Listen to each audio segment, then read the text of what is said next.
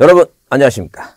자 2022년도 33회 대비 동영모의고사 공시법 자 시작하겠습니다.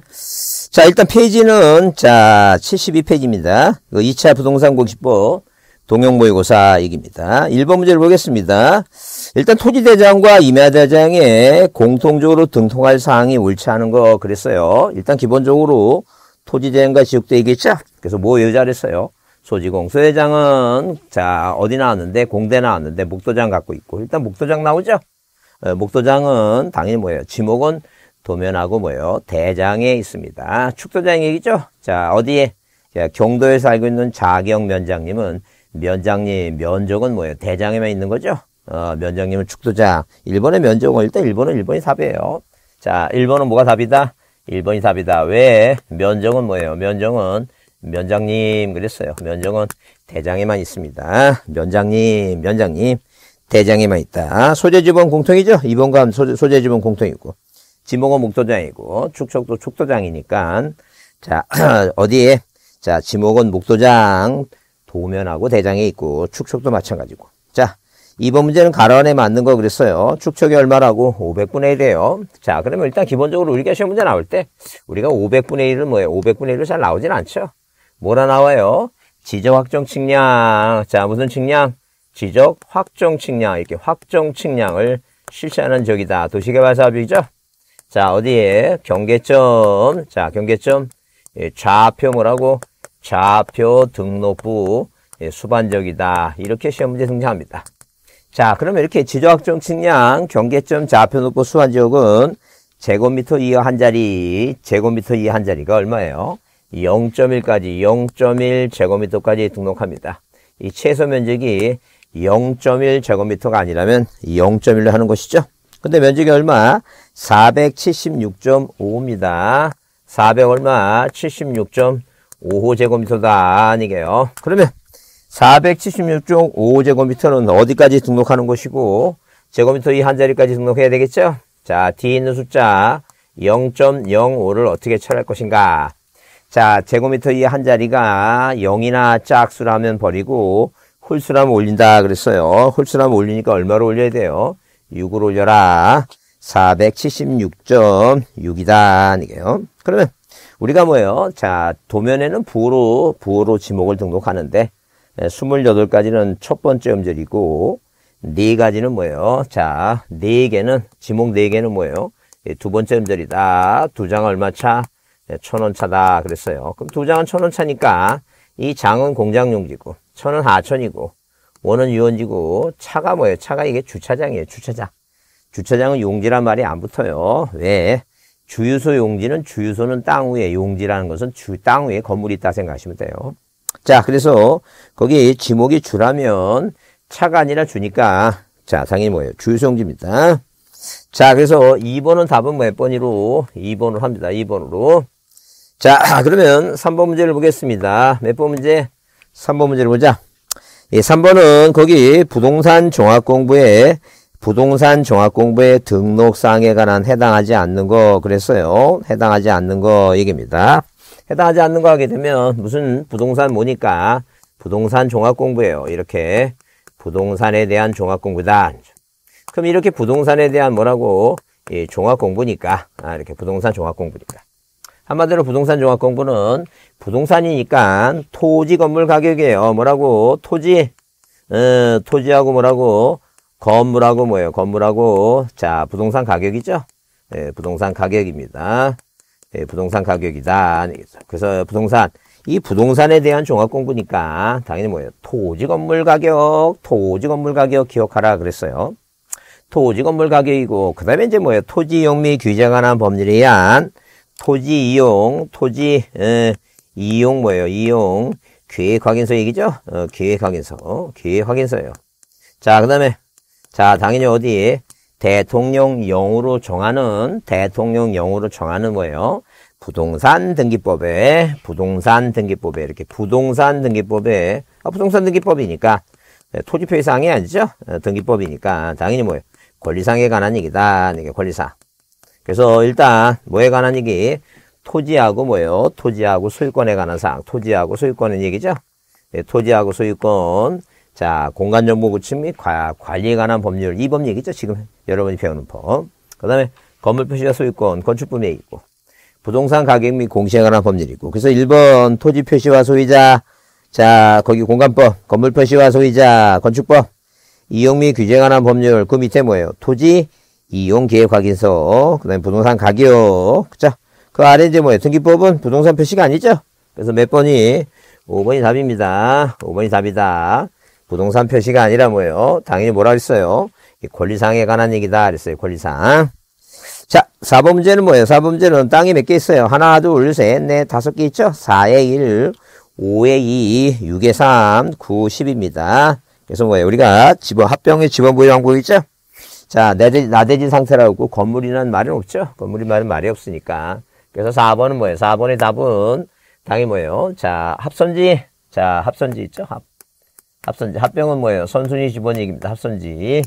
그래서 합선지니까 몇 번을, 에, 9를 답으로 합니다. 9를 답으로 하니까 동그라미 3번. 그래서 몇 번이라고? 에, 9 얘기다. 9. 합선지. 가장 빠른 선순위 본번 얘기입니다. 9. 그 다음에 5번 문제는 측량에서 경계점 좌표 결정하는 게 아닌 거 그랬어요. 하여튼 측량 얘기 나오면 네, 측량 대상이 아닌 거 나면 가장 대표적인 답은 일단 측량 대상이 아닌 대표적인 답은 소재 변경. 자, 그 다음에 뭐예요? 지번, 그 다음에 소재 지번. 예, 지목에 관한 얘기죠? 그래서 소재 변경, 예, 지번 변경 뭐예요? 지목 변경. 이건 뭐 하지 않는다? 측량 필요 없다. 여기다 뭐 하나 집어넣자 했어요. 합병 하나 더 집어넣고, 저 네 가지만, 소재 지번, 지목 합병, 소재 지번, 지목 합병은 뭐 하지 않는다? 측량할 필요가 없다. 그랬습니다. 그래서 거기 5번에 몇 번? 4번이 답이죠. 4번은 뭐라고 합병을 측량하지 않아요. 그래서 우리가 자 어디 뭐예요? 어디 자 어느 학원 문제를 보니까 어떤 문제가 하나 있었냐면 다음 중 측량 대상이 아닌 거 물어봤고 면적에 자 수행자가 면적 측량을 하는데 사람이 하는 일이라 측량에 대해 뭐예요? 오차가 있다는 거죠. 그래서 오차 허용 범위를 초과하면 무조건 측량해서 고쳐야 돼요.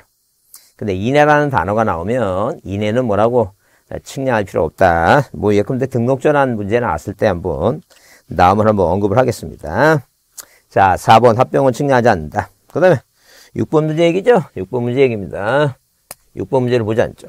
그러면 지적 정리에 관한 얘기인데 등기부와 대장의 표시가 뭐하지 않을 때 일치하지 않을 경우 소관청은 뭐예요? 공부, 그러니까 소유자 정리를 할 수가 없다는 게요. 그 뜻을 관할 등기에서 통제한다. 이걸 우리가 불법 통지를 한다는 게요. 뭐는 맞는 거예요? 기억 얘기. 기억은 맞아요. 그래서 딱 뭐예요? 이 기억이 들어가는 1, 3, 5번이 답이에요. 2번과 4번은 답이 아니다. 그 다음에 니은은 뭐예요? 니은은 등록 나오죠? 그래서 기본적으로 뭐예요? 뭐가 나오면 니은에 뭐예요? 신규 등록가 나오면 이 신규 등록에 뭐예요? 예, 대장을 최초로 만드니까 뭐를 당연히 소유자 이 소유자 표시를 공부에 대장의 소유자를 등록해야 되니까 누가 신규 등록? 등기부 없다 촉탁하지 않는다. 신규 등록은 뭐예요? 소유자는 소관청이다. 신규 등록의 소유자는 뭐예요? 소관청이다. 신규 등록이 뭐예요? 소유자를 등록하는 사람은 뭐예요? 소유자는 누구라고? 소관청이지. 누가 아니에요 시도지사가 아니다 그런 얘기 어? 그래서 우리가 뭐가 나오는 거 자 시도지사가 나오게 되면 시도지사 또는 뭐예요 대도시 어, 대도시 시장에 뭐예요? 승인 얘기 나오게 되면 승인 얘기 나오죠? 승인 얘기 나오면 반출 뭐예요? 반출. 네, 뭐예요? 지번 변경. 자, 그다음에 축척 변경. 자, 몇 가지 반지 축척, 반지 축척. 요 세 가지만 이 승인이 나오게 되면 요세 가지만 시도지가 등장해요. 그 다음에 그 이외에 시도지가 등장하는 게 뭐가 있냐 하게 되면 일단 자, 우리가 이 전산화된 지적 공부를 전산화된 지적 공부를 지적 정보 관리 체계 이렇게 지적 지적 정보 관리 체계 예, 관리 체계에 연구위 뭐예요? 연구위 보존한 사람 시도지사나 시장, 군수, 구청장이에요. 그래서 지적 정보 관리 체계 나오면 뭐예요? 당이 누가 나와요? 시도지사 나와요. 그다음 우리가 지적 뭐라고? 지적 삼각식량 있죠? 이 삼각식량에 대해서 이 지적 삼각식량에 대해서 뭐예요? 자, 검사할 수 있는 사람은 자, 측량의 검사는 시도지사가 검사를 해요. 자, 그 다음에 자, 이 삼각측량에 대해서 뭐예요? 시도지사한테 등본 교부 열람을 삼각점에 대한 성과는 시도지사한테 자 소관청에 시도지사가 들어가요. 왜? 연락 교부를 받아야 되니까. 그 다음에 적부심사예요. 아, 지적 뭐라고? 지적 측량 이 적부심사가 나와요. 이 적부심사 이렇게 여섯 가지 반지 축적, 지번 변경, 축적 변경, 승인 때문에 자 이렇게 세 가지는 뭐예요? 지적 정보관리 체계 연구의 보전, 삼각 측량 검사, 지적 측량 적부심사는 시도지사를 거쳐서 지방지적위원회에 청구할 수 있다. 그랬어요. 하여튼 그래서 자, 시도지사가 조사한다. 틀린 말이에요. 니은은 빼야 되고, 그래서 기억은 들어가고 니은 빼니까 뭐가, 뭐가 답이에요, 이건? 3번만 답이다. 이게요. 그래서 6번은 몇 번이 답이다? 3번이 예, 답이다. 이게 3번이. 그래서 여기, 자, 디귿 등록사항을 정종 경계 면적에 변경할 경우, 이해관계에 있을 때는 승낙서 또는 판결서를, 자, 정본을 제출하고, 소유자 신청에 의한 것은 그 등록사항, 경계와 면적을 고친 등록상 측량, 측량하라는 성과도 제출하라. 맞다는 게요. 자, 그 다음에 니은은 등록사항의 정정의 경우에 그 정정사항이 소유권에 관한 사항이라면 자, 소관청은 뭐예요? 등기부 가지고 직권으로, 직권으로 정리할 수도 있고 자, 그 다음에 소유자는 뭐예요? 소유자도 뭐에 따라 등기부에 따라 뭐 할 수 있다는 게요. 정정할 수 있다. 자, 그래서 거기 자, 거기 직권할 수, 정정할 수 없다. 그거 틀린 말이고. 미등기 부동산으로서, 미등기 부동산으로서 뭐예요? 대장은 만들어 놨어요. 근데 대장이 뭐예요? 등록상의 정정으로, 자, 미등기 토지로서 소유자의 성명, 주민등록번호 주소가 명백히 동그라미 치고, 명백히 잘못 동그라미 치세요. 명백히 잘못됐다면, 당연히 뭐 갖고, 가족관계 기록상 갖고 하는 거예요. 등기부 갖고 한다. 등기부도 없는데 어떻게 등기부 갖고 해? 말도 안 되지. 판결서 갖고 한다. 그것도 틀린 말이에요. 항상 뭐 갖고? 가족관계 기록상 증명서다. 그래서 일단 거기 자, 기, 자 오른 거 있죠? 예, 기억 딕은 미음이다. 자, 그래서 몇 번이 3번이 답이라 했어요. 7번 문제 보시면 공부의 내용으로 뭐 하지 않는 거, 옳지 않은 거 그랬어요. 공부 내용을 옳지 않은 거. 몇 번 얘기해요? 7번 문제 얘기입니다. 7번 문제. 공부 내용으로 옳지 않은 거. 그래서 소관청은 시도이사 승인을 받으면 지적 소고에 보존되어 있는 뭐예요? 자, 아, 공부를 해당 정사로 뭐 할 수 있다. 반출할 때 승인 받는다 그랬죠? 승인만 얘기고. 그 다음에 지적 공부를 정보 처리 세입 통해서 기록 저장할 때 관할 시도지사, 시도지사 나오죠? 어, 시장, 군수총장은 공부를 지적 공보관리책에 보존한다. 여기 그랬죠? 지적 정보관리책에 보존한다고. 맞고. 그 다음에 3번. 소관청은 부동산의 효율적인 이용과 부동산과 관련된 정보의 종합적인 관리에서 부동산 종합 공부를 관리하냐고. 맞고. 그 다음에 종합공부 연락하면 다 이렇게 써놨죠? 일단 기본적으로 자 기본적으로 공부 있죠? 부동산 종합공부나 그다음에 뭐 지적공부 이 지적공부를 교부 열람 있죠? 이 교부하고 열람할 때는 누가 들어가면 안 돼요. 시 도지사가 들어가면 절대 안 된다. 누가 들어가면 안 된다고? 시 도지사가 들어가면 안 돼요. 누구한테? 시장, 군수, 구청장이나 읍면동장한테 뛸 수 있다. 물론 뭐예요? 물론 지적 삼각 측량에 대한 성과에 대한 열람은 누구 들어간다 그랬어요, 이거. 삼각증의 성과는. 자, 시도 이사가 들어야 된다. 그랬습니다.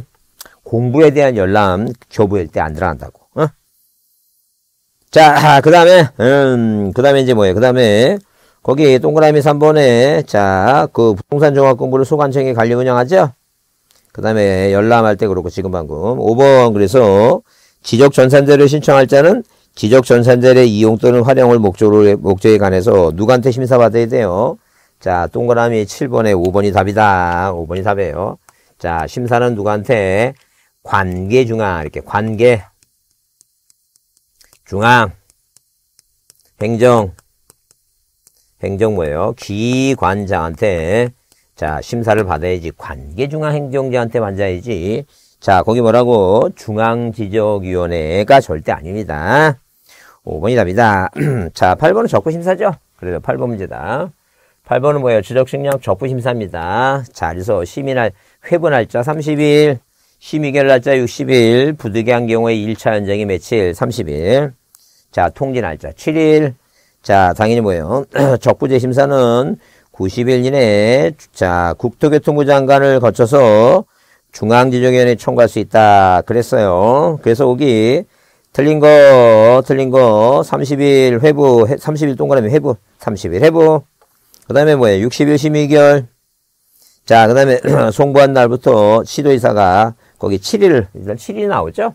일단 뭐가 나오면 7일 나오는 건 뭐냐면 7일 나오면 두 가지. 자, 뭐 한다고 통제한다는 게 통제. 자, 누구한테? 시도지사가 적부심사 총고인뿐만 아니라 이해 관계는까지 통제한다는 얘기고 등록하면 며칠이라고 등록하면 뭐예요? 등록하면 등록하면 7일이에요. 등록. 자, 그러니까 7일 등록하면 7일 이내 통제 그러니까 다 통제하는데 등록하면 7일이고 소유자한테 뭐라고? 자, 그 7일 이내에 뭐예요? 심사 청구인과 이해관계는 때 통제하고 이거는 등록 7일 그다음에 소유자한테 통제해 준 거. 그러니까 다 7일 하게 되면 통제하고 관련돼 있지. 여기 뭐라고 여기 뭐라고 써 있어요? 7일 이내에 적부 심사위 및 이해관계. 어, 그렇죠. 저 통지고. 어, 7일 통지 맞죠? 그러니까 회부나 회부에서 심의 의결 7일 통지 맞고. 그 다음에 아, 거기 4번이 답이죠? 8번이 4번이다. 에, 8번이 4번이다. 절대 적부 재심사는 국토교통부 장관을 거쳐서 누굴 거친다고? 국토교통부 장관을 거쳐서 이렇게 국토교통부 장관 자 이렇게 국토교통부 장관을 거쳐서 어디에 중앙 지저 위원회 뭐예요? 위원회 재심사를 뭐 할 수 있다? 총괄할 수 있다. 재심사를 예, 국토장관을 거쳐서 거쳐서 이렇게 거쳐서 재심사를 뭐 할 수 있다? 총괄할 수 있다. 이게요. 자, 8번은 몇 번이고 4번이고 그 다음에 5번 지방지주위원회가 적부 임사 의결할 때는 의결서를 작성해서 시도지사에게 뭐 해주면 송부해주면 이제 그 5번이 어디로 연결되는 거예요. 자, 3번으로 7일 이내에 통제입니다. 자, 9번 문제는 토지등청의 특례에 관한 얘기예요. 특례. 틀린 거 그랬습니다. 일단 개발 사업을 해요. 그래서 연기군이라는 시골 마을이 근데 9번 문제는 연기군이라고 시골 마을이 다 뭐로 됐어요. 예, 전답이었던 이 토지가 예, 전 전답 전답이었던 이 토지들이 다 뭐라고 도시개발 사업을 해서 세종시가 되면 일단 전답이 대로 바뀌니까 토지 등이 발생합니다. 그럼 일단 기본적으로 도시개발 사업 이렇게 도시 개발 뭐예요? 도시개발 이 사업에 대해서 개발 사업을 했다고 누가 이 사업 시행자가 뭐 한다는 얘기예요? 사업 시행자가 신고해요. 신고 날짜가 며칠이에요? 15일이에요. 15일. 15일이다. 그래서 이 15일 나오는 게 신고 15일. 자, 그 다음에 청산금에 대한 산출을 15일 하고, 접수 15일 하고, 복구 15일 하고, 자, 날짜가 며칠? 15일이 딱 네 군데가 나옵니다. 신고 15일. 그러면 당연히 뭐예요? 토지동이 생겼으니까 토지 신청해야 되겠죠? 절대 이 개발사업 쪽은 토지동 신청은 누가 하면 안 돼요? 소유권자가 하면 안 돼요. 소유자가. 자, 그래서 일단 1번은 뭐예요? 1번은 사업시행자가 소관청에 동그라미 치고 사업시행자 소관청에 시도이사 나면 틀린다니까 소관청에 신청하는 거예요. 그 다음 2번 사업의 완료 신고가 되기 전에 사업의 사업의 착 사업의 착수 또는 변경된 토지 소유자가 해당 토지를 원하죠. 해당 사업 시행자에게 이동을 신청하도록 요청할 수 있어도 토지동을 신청할 수 없어요. 왜냐면 자 합리적이지 못하다니까요.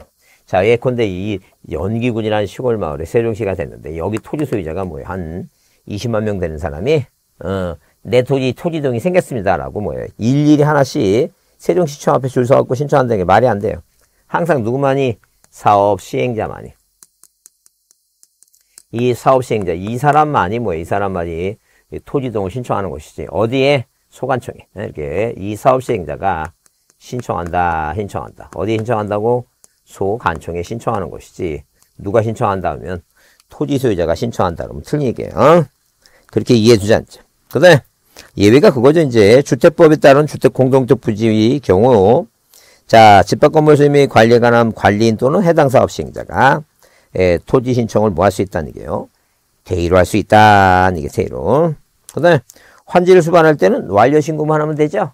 토지 동 신청까지 필요 없고. 그 다음에 파산하게 되면 자 이게 이제 뭐예요.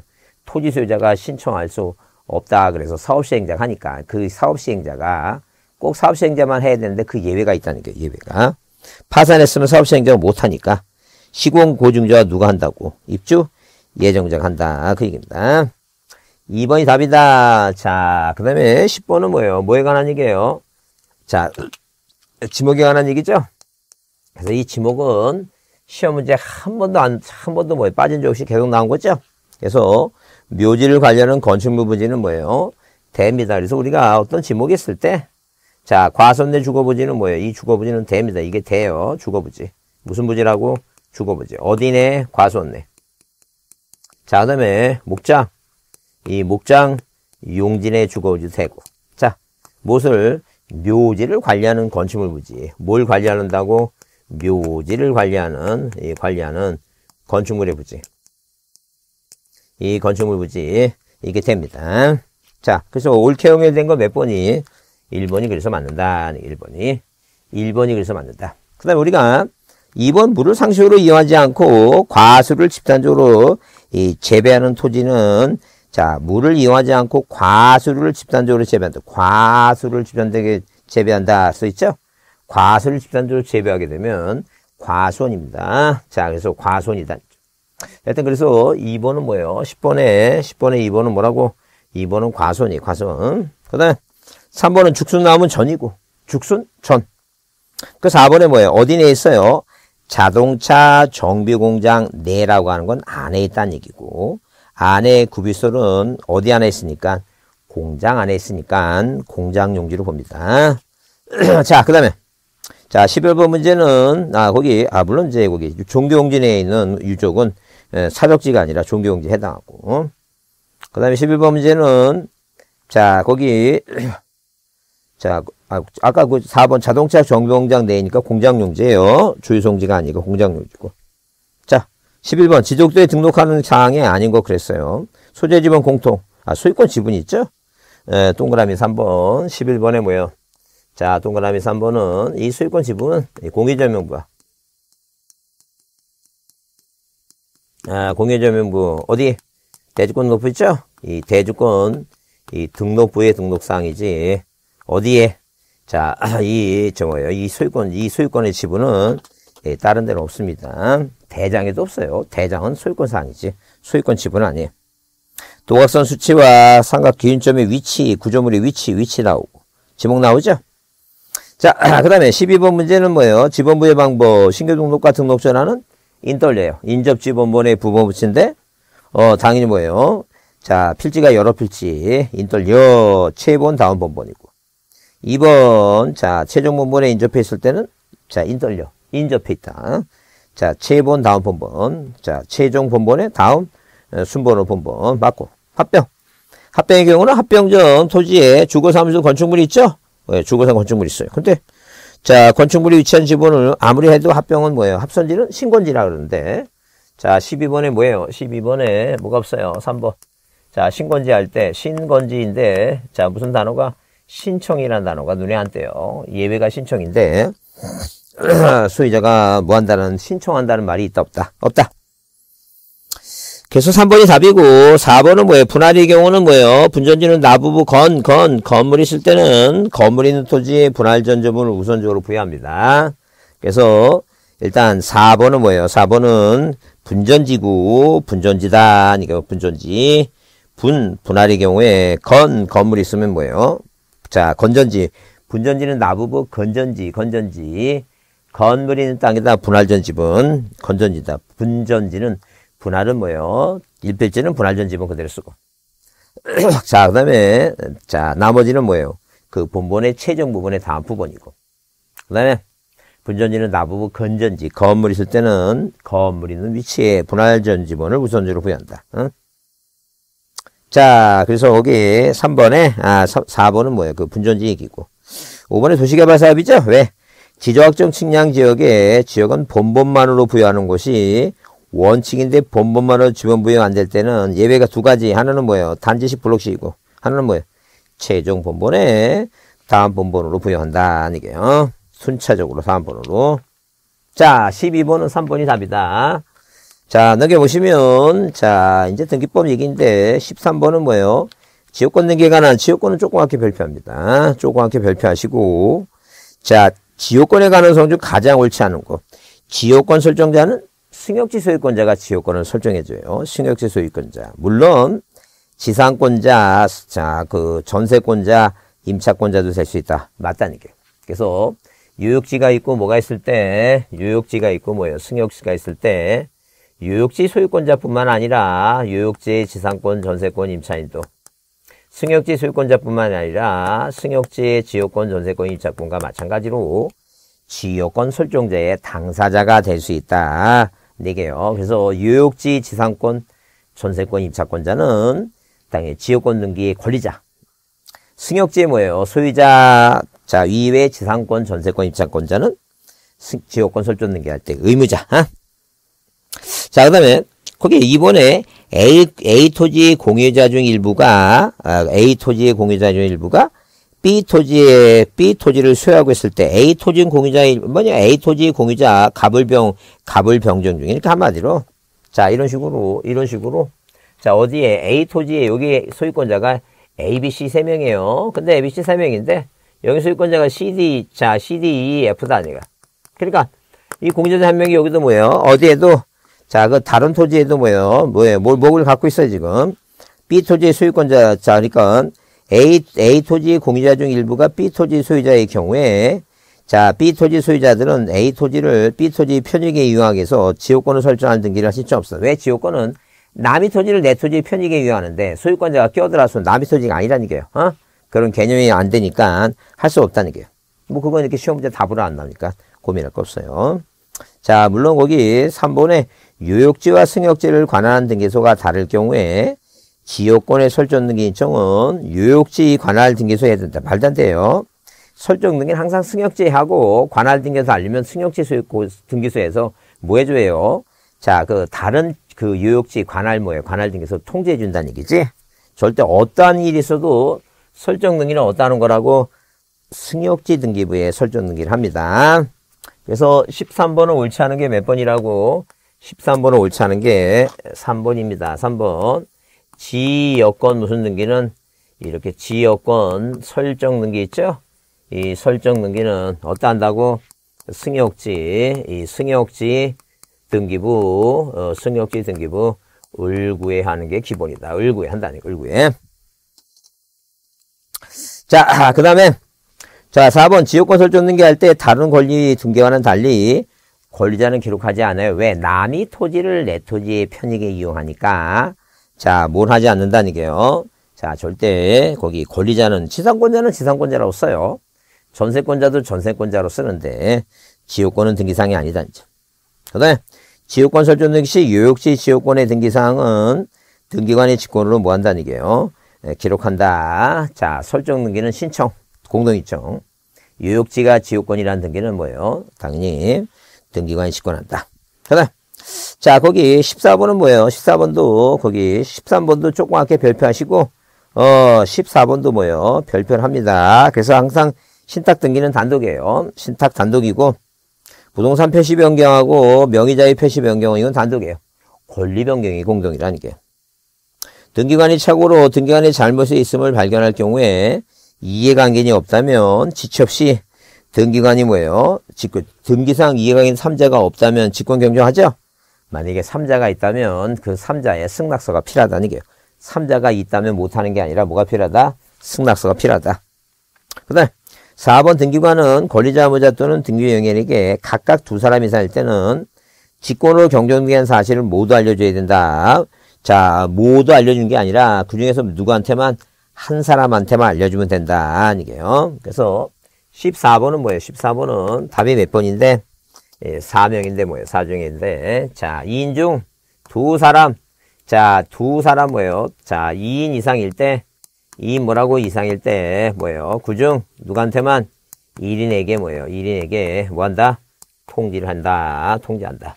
1인에게만 뭐 한다고? 통지해준다. 어, 전원한테 줄 필요는 없다니죠. 그 얘기고. 그 다음에 자, 여기 몇 개월의 의무가 있고 1개월의 의무가 있습니다. 그 다음에 15번은 부동산 등, 자, 등기용 등록번호 부여율 차이가 가장 올, 자, 옳은 거 그랬죠? 그래서 기본적으로 사람이라면 권리자는 뭐예요? 권리자는 등기부상의 명의를 올릴 때 사람이란 뭐예요? 이름 아래 주민등록번호를 써야 됩니다. 물론 이제 주소도 써야 되고. 그래서 항상 권리자가 등기할 때는 자, 그 주민등록번호하고 왜? 그 명의 밑에 써야 되니까 이 주소지를 꼭 써야 된다. 그게 권리자가 제출하는 기본 서면이에요. 말은 뭐, 자 예외 예외로 이제 주소 증명 서면은 모일 때 꼭 이전 등기할 때는 뭐예요? 누구만 내는 게 아니라 권리자만 내는 게 아니라 누구도 내요? 의무자도 낸다. 왜? 자, 우리가 건물분 재산세는 7월이 기준이면 7월 때 내지만 6월이 기준이기 때문에 6월 전에 자, 아파트를 매도인이 팔았다면 매도인이 내는 경우도 생긴다. 그런 얘기예요. 그래서 그렇게 이해해 주시고 자, 이렇게 뭐예요? 등록 부여번호 부동산 등기용 등록번호 부여 절차 가장 옳은 거. 일단 그 지방자치단체 얘기죠. 국가지방자치에 있죠. 국가지방자치 이렇게 국가 뭐라고 국가지방자치단체. 자, 그 다음에 뭐예요? 외국 정부 있죠? 외국 정부라든가 외국 기관 이렇게 나왔을 때는 이건 누가 국토교통부 장관이 부여해요. 누가 부여한다고? 국토교통부 예, 장관이 부여를 해줍니다. 번호를 몇 번 쓰라고 부여한다. 이게 국가지방자치는. 그 다음에 외국 정부도 마찬가지죠. 외국 정부도 국토교통부 장관이 부여하는 거예요. 자, 이게 이제 법무사 시험 문제 나왔던 문제인데, 북한 지역에 사는 거주하는 주민에 대한 등록번호는 법무부 장관이 부여한다. 가장 타당한 거 15번에 뭐예요? 15번에 몇 번이 답이다? 5번이 답이다. 15번은 5번이 답이다. 이게요. 15번은 5번이 답이다. 그 다음에, 자, 거기, 그, 아, 5번이 답이 아니라 3번, 15번은 3번이 답이죠? 어, 이게 3번이 답이다. 자, 몇 번이 답이라고? 3번이 답이다. 자, 그 다음에 4번은 뭐예요? 법인 아닌 사단 재단 있죠? 이 법인 아닌 사단 재단은, 자, 어디서, 제 건데 종중이라고 생각하시고 쉽게. 자, 주된 사무소가 아니에요. 하여튼, 시장, 군수, 구청장이 부여를 합니다. 물론, 외국 정, 자, 외국 뭐예요? 법인이 우리나라 들어와서 사무소 설치 등기를 안 했다면 취급을 뭘 하겠다는 얘기예요. 법인 아닌 사단, 재단처럼 취급하겠다. 이게요. 그 다음에 주민등록번호 없는 재구민은 대법원 소재지 관할 등기소 등기관입니다. 거기 시장, 군수, 구청장은 뭐예요? 자, 거기, 자, 법인 아닌 사단, 재단 얘기예요. 법인 아닌 사단이죠. 주사무소 소재지 관할 등기소 등기관은 그건 법일대이다, 법일대. 15번에 4번이고 16번 사건이 중요하죠? 16번 별표하시고 사건이 등기할 것이 아닌 경우에 해당하지 않는 거 됐어요. 농지에 농지의 지상권 등기는 적법해요. 농지의 전세권 등기가 안 된다는 얘기지. 농지의 지상권이나 농지의 저당권은 적법합니다. 그래서 일단 16번은 몇 번이 1번은 각하사유가 아니에요. 16번에 1번은 각하사유가 아닙니다. 자, 물론 거기 2번은 일부 지분만의 보장, 자, 일부 지분만의, 똑같죠? 2번하고 3번. 일부 자기 지분만의 보상 없다. 보존 등기와 상속 등기 안 되고, 법원이 촉탁으로 실행할 등기를 뭐예요? 올해 구급 문제도 이런 이제 각하사의 문제가 나왔는데, 하여튼 중요해요. 법원에 촉탁으로 실행한 것을 신청하면 안 돼요. 가압류 촉탁을, 가압류 등기를 신청한다. 말이 안 돼요. 촉탁 등기다. 이미 보존된 등기 다시 보존 등기하면 안 되고, 왜? 부동산 하나에 등기부가 하나야 돼요. 등기부가 두 개 있으면 안 된다. 자, 17번도 발표하시고, 뭐에 관한 얘기예요? 용익 물건에 관한 얘기다. 이게요. 그래서 전세권의 존속 기간이 만료 전에 전세권의 일부 이전등기 지분을 양도하는 그 지분 양도할 때 양도액을 등기한다 그랬는데 절대 존속 기간 만료 전에는 전세권의 일부 이전 등기가 할 수 없다. 그 다음에 전세권의 목적이 일필 토지 건물, 일동, 일 필 토지 또는 일동 건물 전부라야 할 필요는 없고 일부라도 뭐에 상관없지만 부동산 일부에 대한 전세권 등기할 때는 신청을 할 때는 뭐예요? 그 범위를 특정해서 도면 내라 그랬죠? 그래서 토지에 대한 전세권 등기는 지적도. 건물에 대한 전세권 등기는 뭐예요? 건물 도면 내야 된다. 어느 부분을 사용하려고 하는지 그려서 내야 된다는 죠.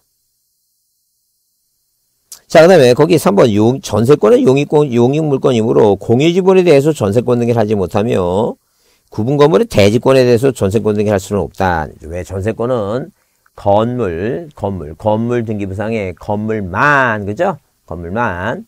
토지 등기부에는 뭐예요? 토지에 대해서만 에, 등기할 수 있는 것이지 대지권이 하는 게 아니다.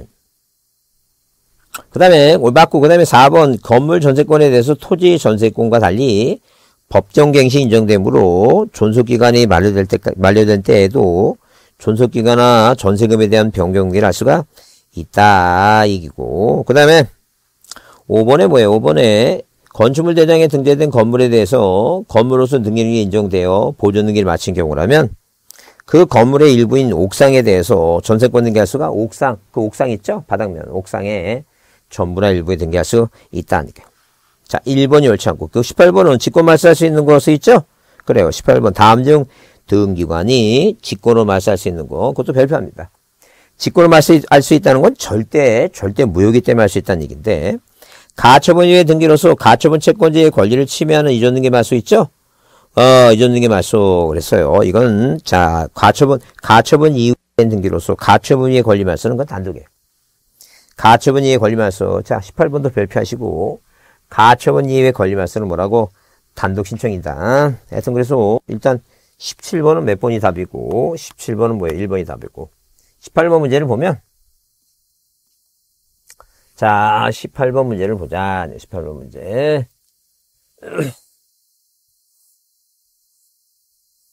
자, 이렇게 뭐 이렇게 갑이란 사람과 을이란 사람이 매매 계약을 체결했고 이 매매가 민법 110조 사기 강박이었어요.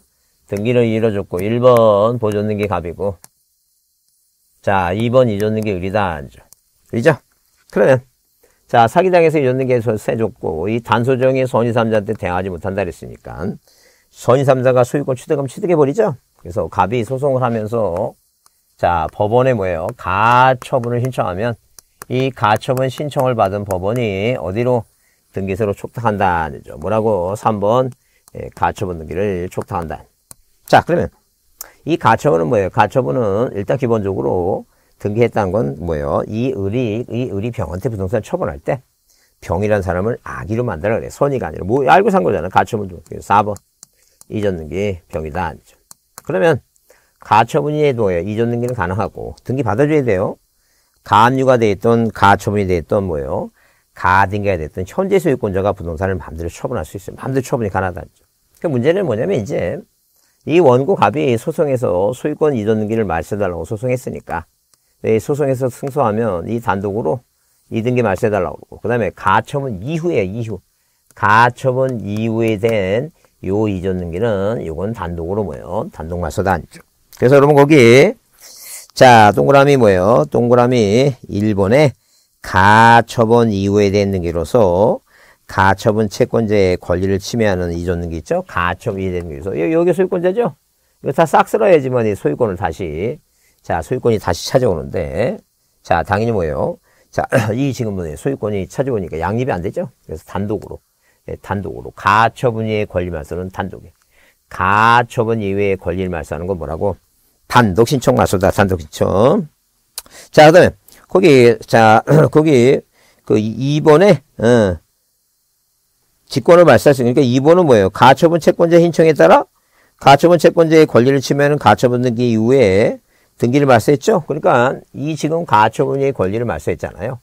그 가처분의 권리를 말소해도 가처분의 권리가 없던 요 이전 등기를 단독으로 말소받으면 이 가처분 등기는 등기관이 뭐 한다고 네, 직권 말소합니다. 무슨 권리를 예외입니다. 가처분은 촉탁 등기니까 가처분은 뭐라고 단독으로 단독으로 자 가, 가처분 등기는 단독으로 말소할 수 없고 직권 말소하죠. 직권 말소하는 거예요. 촉탁 말소가 원칙이지만 이렇게 뭐예요? 말소가 되면 이게 필요 없으니까 등기관이 뭐 할 수 있다는 얘기예요. 직권 말소할 수. 원래 뭐가 원칙이라고? 촉탁 말소가 원칙인데 예, 직권 말소가 가능해요. 당해 가처분 등기. 자, 직권 말소한다. 그 다음에 소용이한 등기 마치면 지역권과 상속 등기는 뭐예요? 등기관이 말소하면 안 돼요. 이건 직권 말소 대상이 아니다. 위전화하죠? 위전화하면 실체관계에 부합되면 유효하니까. 아, 이건 뭐예요? 자, 말소 대상, 직권 말소 대상이 아니에요. 왜? 소송 문제다. 그 다음에 자, 거기 그 지상권 청구권 보전에 가등기한 본등기를 했죠? 이 체납 처분의 압류 등기 이렇게 나오죠. 이 체납 처분의 압류 등기는 뭐예요? 무조건 등기관이 말소할 수 있는 게 아니라 뭐예요? 자, 아, 거기 지상권 보존 가등기한 본등기에 따라서 이 체납 처분하고 지상권하고는 아무 상관없어요. 소유권이 문제가 되지 지상권 문제가 없, 안 되니까. 그 중간 처분은 이게 예, 마수 개념이 아니다 이렇게 보시면 돼요. 하여튼 그래서 거기 체납 처분의 압류 등기는 자 이거는 뭐예요? 그 세금 뭐예요? 세부에 관한 사항을 자 일단 뭐 해주고 통지하고 있죠? 통지하고 따져봐야 되고 물론 여기서 이제 뭐예요? 지상권의 가등기와 본등기 할 때는 뭐가 아니기 때문에 지상권자가 세금 내고 그런 게 아니기 때문에 따질 거 필요 없다는 얘기예요. 하여튼 그래서 여기 직권 발사할 수 있는 경우는 2번 번이 없다. 자, 19번 가등기 중요하죠? 가등기 중요하다. 그래서 여기 1번 전세권 설정, 임차권 설정, 가등기 할수 있고.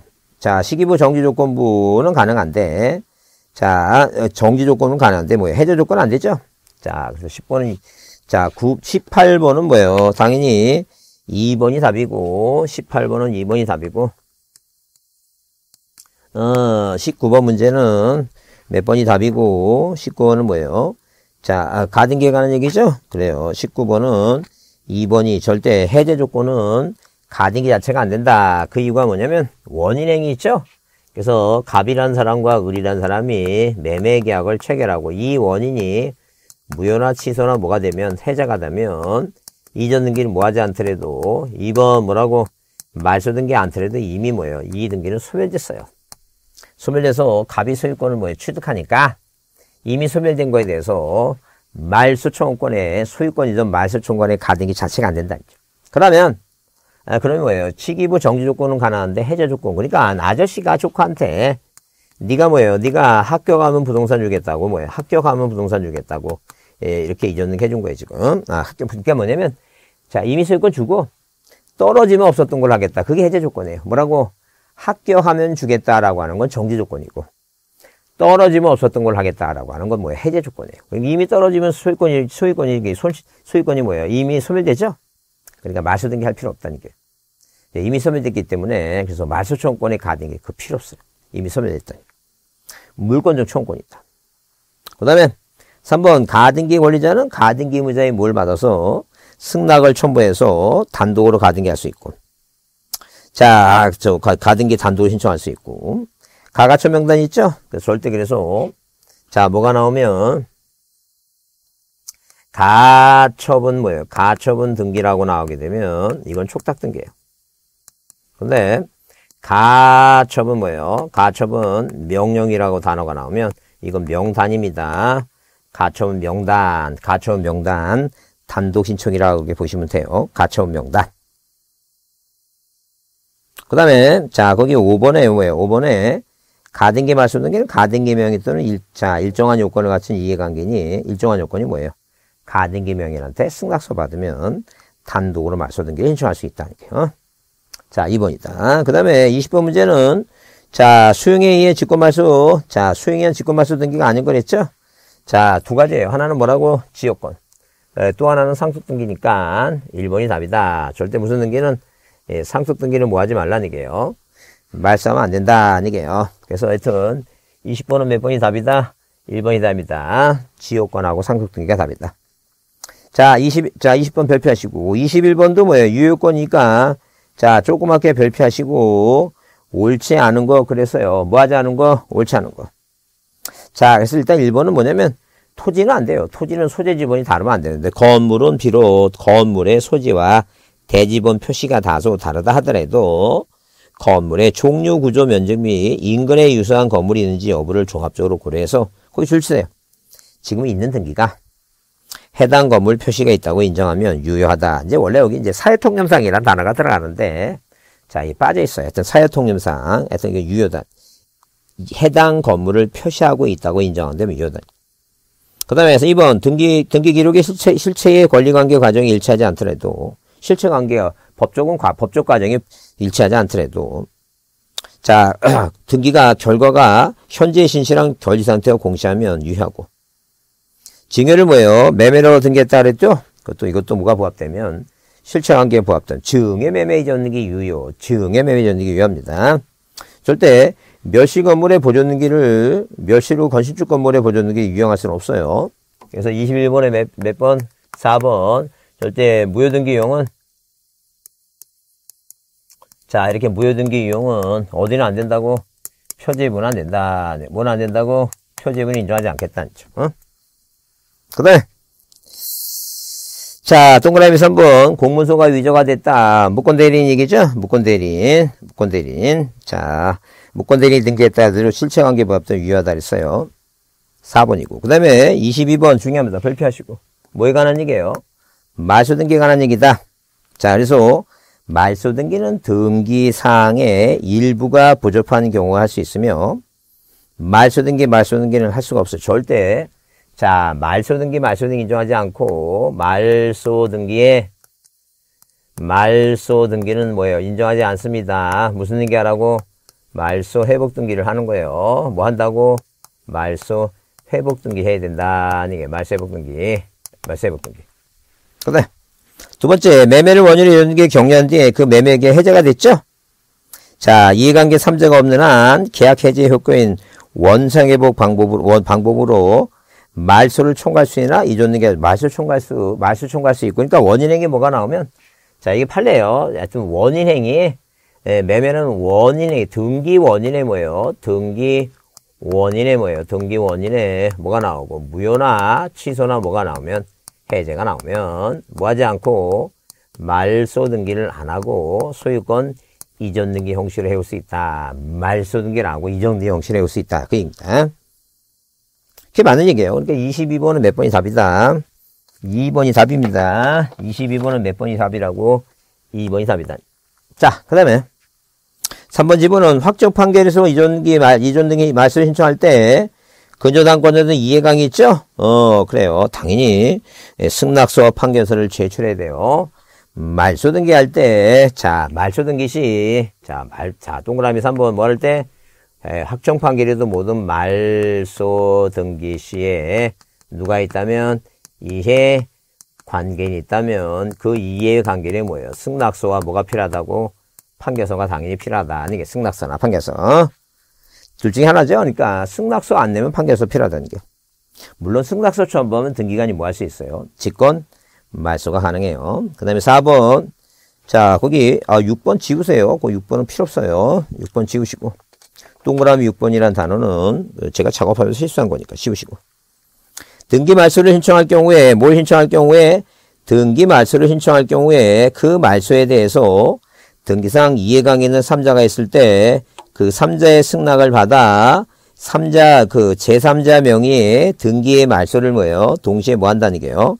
신청한다. 말소를 뭐예요? 자, 그, 그, 자, 동시에 신청한다. 말도 안 되는, 아까 그랬죠? 3자의 승낙서가 있으면, 이 사람의 승낙서가 있으면 등기관이 뭐 한다고 이거? 직권을 말소한다. 이게 직권 말소다. 동시에 신청하는 게 아니라 뭐라고? 직권 말소다. 그 다음에 자 거기 5번에 근저당 유전기 부기등기된 경우 주등기인 근저당기를 말소할 때는 근저당권 부기등기에 대한 말소 등기를 먼저 하는 게 아니라 자 일단 거기 주등기를 말소하면 부기등기는 뭐라고? 직권 말소예요. 그래서 항상 주등기는 자, 근저당권의 부기등기가 된 경우에 이렇게 소유권자는 갑이고 1번 소유권 무전등기 갑이죠.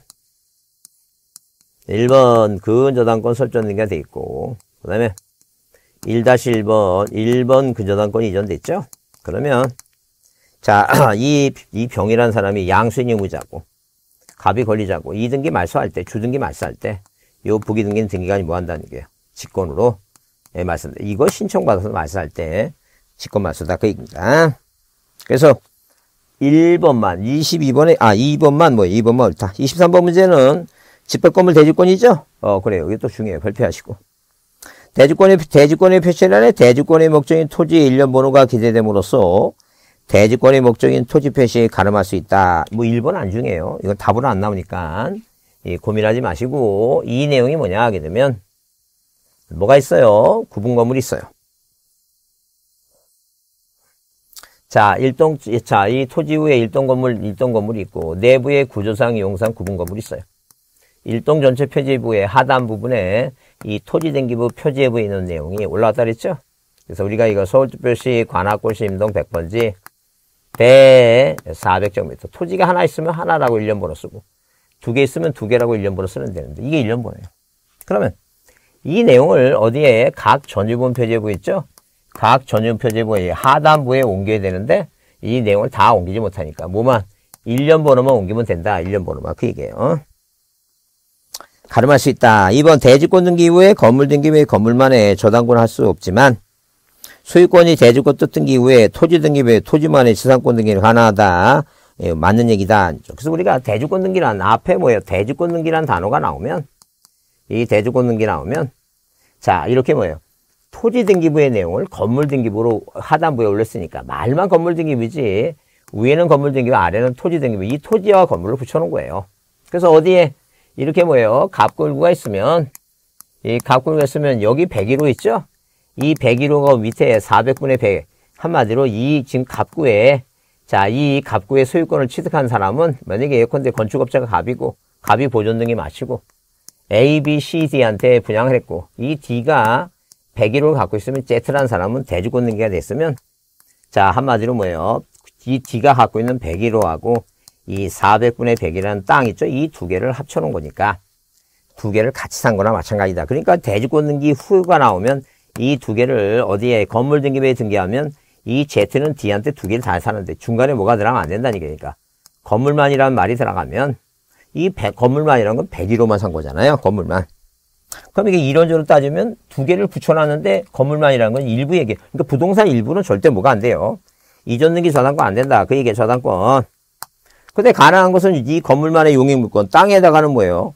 자, 땅 외에 건물이 있다 하더라도 여러분 민법에 자, 뭐 배울 때 지상권 등기 배울 때 그러니까 배우잖아요. 지상 외에 건물이 있다 하더라도 건물이 없는 부분 그 땅 일부에 지상권 등기 할 수 있다. 그런 얘기예요. 그래서 여기 뭐가 나오면 대주권 등기 이후 나오면 건물만 나오면 동그라미 대주권 건물만 저당권 없다.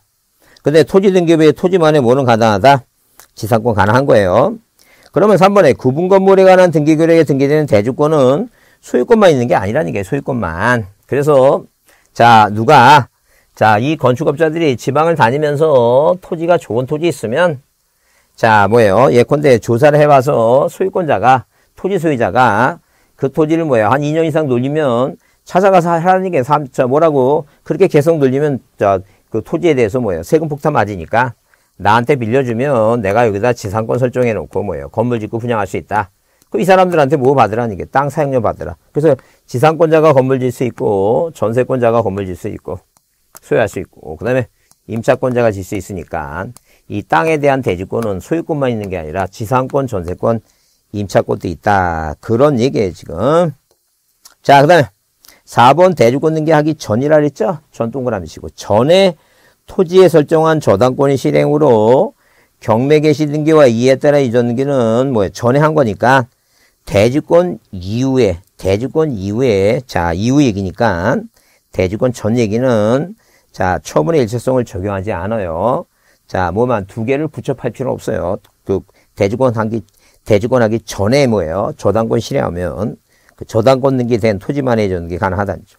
그 다음에 5번에 뭐예요? 자, 건물 등기부에 신, 자, 건물 등기부에 신청해서 대주권 등기했죠? 등기관이 직권으로 어디에 토지 등기부 있죠? 토지 등기부. 이 토지 등기부에 해당구. 대주권이 갑, 소유, 대주권이 소유권이면 갑구에. 지상권, 전세권, 인천권이면 어디에? 을구에. 대주권 뜻 등기. 하여튼 건물 등기부에 등기하는 건 대주권 등기. 토지 등기부에 등기하는 건 뭐예요? 대주권 무슨 등기라고? 대주권 뜻 등기다. 뜻 등기. 네? 얘기입니다. 갑굴구다. 상난. 표제부가 아니다. 자, 23번도 별표하시고. 자, 예선 23번은 표제부가 아니라 뭐예요? 자, 갑굴구, 상난, 갑굴구, 해당구. 몇 번이? 5번이 답이다. 23번은 5번이 답이다. 자, 23번은 몇 번이 답이다? 5번이. 자, 24번은 근저당권에 오른 거 그랬죠? 자, 부동산 일부에 대해서 저당권을 설정할 수 없고 지분에 설정할 수 있다. 없다 했다가 바꿨죠? 그 다음에 2번. 자, 근저당권의 등기를 신청함에 있어서 채권자가, 자, 채무자가 여러 사람이라면 채권 최고액을 뭐예요? 구분해서 나눠 쓸 수 없어요. 그 다음에 반드시 채무자가 여러 명 있다 그래서 자, 뭐 할 필요 없다는 게 연대란 말 필요가 없어요. 그래서 어디에 울구의 예컨대 1번에서 소유권 보존 등기 갑. 그 다음에 1번. 근저당권 설정 등기 했다 아니에요. 설정 등기. 그럼 채권 채고 1억 2천이면 1억 2천이라고 써야지. 이걸 나눠서 A 뭐예요? 4천, B 4천, C 4천 이렇게 쓰지 말라. 그 채무자 여러 사람이 뭐예요? 채무자 을, 채무자 뭐예요? 병, 채무자 이렇게 쓰지 여기다 연대란 말 쓸 필요 없다니까.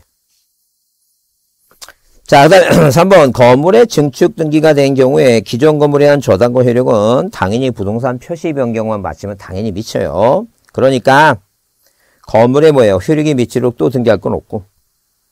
4번에 전세금이 5천만 원인 전세권을 목적으로 한 채권 최고의 3,500만 원의 선순위 근저당권이 경제된 경우 다시 그 전세권을 목적으로 자 뭐예요?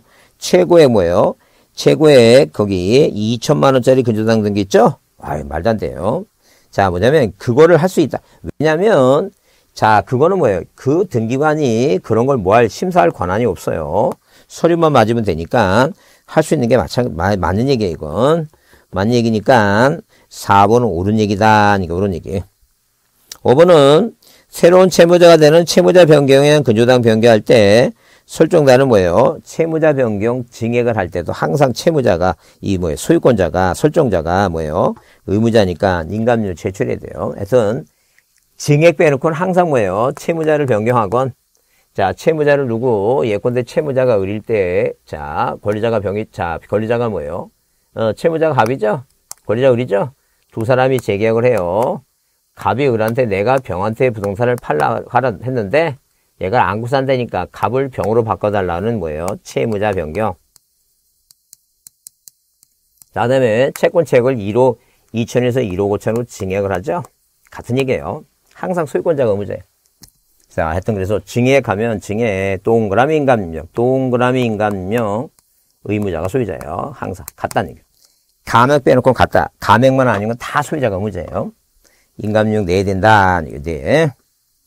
자, 그래서 옳은 것은 4번이다. 옳은 것은 몇 번이라고? 4번이 답이다. 자, 1회를 마치겠습니다. 쉬었다가 2회를 하겠습니다.